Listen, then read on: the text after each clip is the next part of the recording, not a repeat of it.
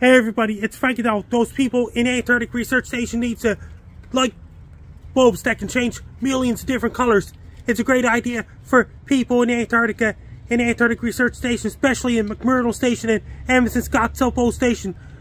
For people that scientists head down to Antarctica and research people head down to Antarctica to do research work, they need color changing lights that can change a lot of different colors, including LED lights down Antarctic Research Stations that can have changes the colors to millions and millions and millions of different colors for Antarctic research stations to change colors down Antarctic research stations for people doing the